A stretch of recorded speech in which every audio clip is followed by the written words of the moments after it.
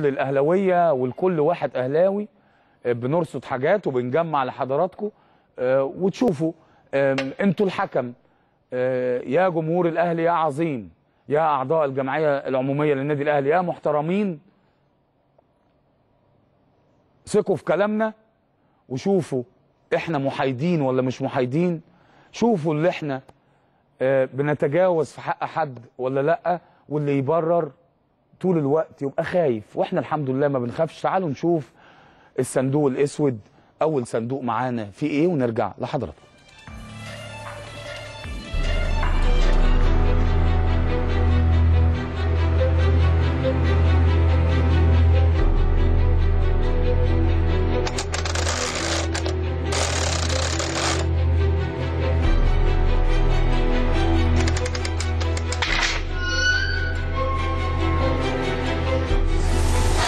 بعد المباراة آه، كتير من الزملكاوية فرحوا جدا لهزيمة النادي الأهلي.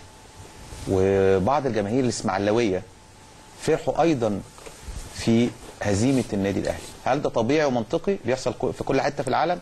تعالوا نروح لهذا التقرير من إحدى الكافيتريات لصاحبها اللي قرر أن يوزع عصاير على كل الناس الموجودة بسبب هزيمة النادي الأهلي. نروح لهذا التقرير نرجع لكم تاني.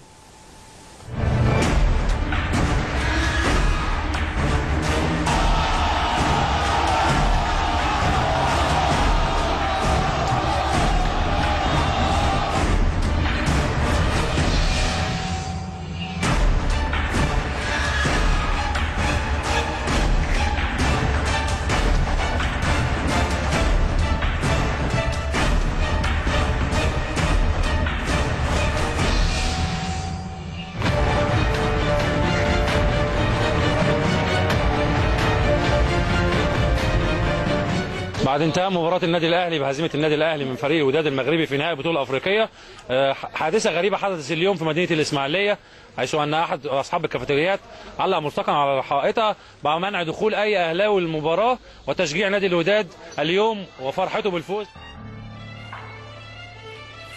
آه للأمانة آه آه، عشان نتكلم بموضوعية آه الكابتن خالد الغندور في التقرير دوت آه آه، خانك التوفيق. بمعنى اللي إحنا بنتكلم على عودة جماهير ولما نتكلم على عودة آه، جماهير آه، ده إحنا رايحين لطريق صعب جدا بالواحد بيشوفه دي رقم واحد رقم اتنين آه لما بنتكلم كبرنامج هنا على عودة الجماهير بنتكلم على جماهير الإسماعيلي وبنتكلم على جماهير الزمالك وبنتكلم على جماهير الأهلي وكل الأندية الجماهيرية. فأنا النهارده لما أشوف الكلام دوت يبقى رايحين لطريق صعب. يبقى إحنا ما استوعبناش الدرس ما استوعبناش اللي فيه 72 ماتوا ما استوعبناش اللي فيه أمور صعبة. قبل كده آه، قلت لحضراتكم مرارا وتكرارا الكلام ده بيودينا لحاجة صعبة. أيوه في مش هنكر اللي فيه حد ممكن يتمنى الأهلي الزمالك بيلعب فتلاقي أهلاوية. لكن ده مش قاعدة. ده مش قاعدة. في ملايين بيتمنوا للزمالك يكسب. في الأهلي بيقابل ال- ال- ال- الاهلي زي ما حضرتك شفتوا الأهلي بيلعب فتلاقي جمهور تاني عايزه يخسر. لكن دي مش قاعدة. و- والدور الإعلامي ما ينفعش يبقى كده. ده من وجهة نظري. الدور الإعلامي ما ينفعش يبقى كده. لأن إحنا بنتكلم وقلت لكم الفكرة دي نفسي الجماهير ترجع. مثلا الأهلي بيقابل الإسماعيلي. لما تخيلوا في الملعب قبل المباراة عماد متعب يوجه كلمة ككابتن للفريق لجمهور الإسماعيلي بكل ود وحب. آه، حسني عبد ربه كابتن الإسماعيلي يوجه لجمهور النادي الأهلي. من هنا هيروح التعصب. لكن الكلام دوت بيودينا الموت. ولسه الجماهير ما رجعتش. كمان آم، خالد الغندور كان ليه مبادرة كويسة وهنا شكرناه. مبادرة مع جمهور النادي الأهلي المحبوس جمهور الزمالك المحبوس قلنا ده كلام محترم كلام رائع كلام عشرة على عشرة. لكن النهارده أشوف واحد عايز يعمل شو والناس تروح تصور في كافيه يا راجل هي دي الأخلاقيات.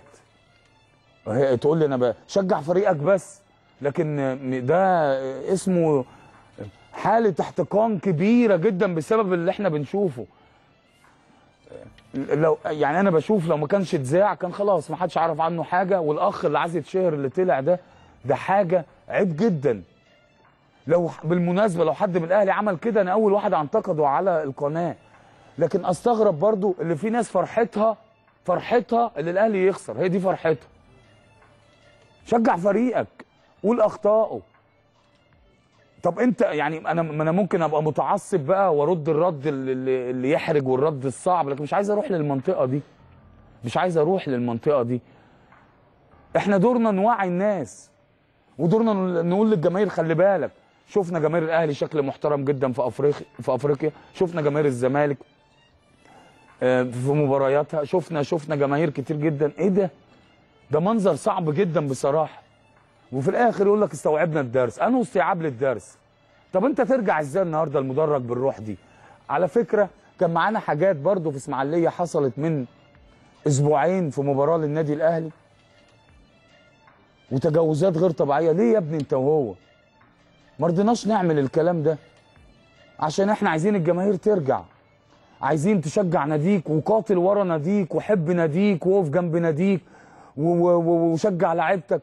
لكن مش عاوزين الطريق ده الطريق الصعب جدا. نسيتوا الموت؟ يا أخي ما تحسوا شوية. نسيتوا الحدث كان جلل. نسيتوا الناس كلها. وفي الآخر نرجع نعيط الجماهير الدوري؟ ومش عارف إيه مش ده اللي كان بيحصل؟ واللعيب يطلع يقول لك اشتغلت في فرن والتاني. أنا بشوف اللي ده كان إهانة أساسا. اللي اشتغل مش عارف إيه واللي اشتغل مش عارف إيه واللي اشتغل مش عارف إيه. ليه ثقافتنا كده؟ أنا مش بهاجمك.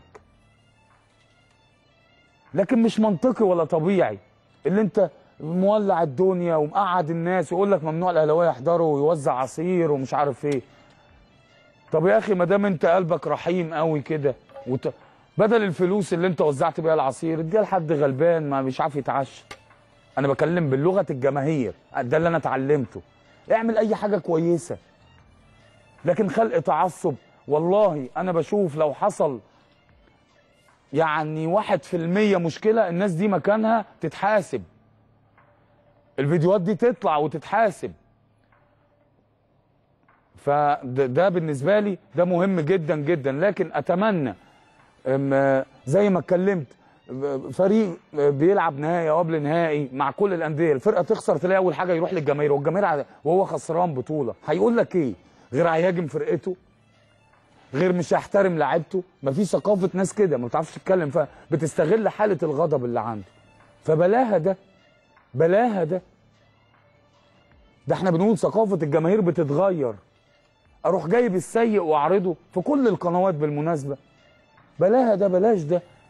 اخد الكويس. ولا ولا نقعد تاني ونحط ايدينا على خدنا ونقعد نعمل كده. يا رب الدوري يرجع. والنبي نكلم سيادة الوزير ويمن علينا عشان الدوري يرجع ونرجع الجماهير ونطلع محبوسين ومش عارف إيه. والأول ما يتمسكوا يروح جاي قايل لك ده ده غلبان ده ظروفه تع... هي طريق ما بيتغيرش.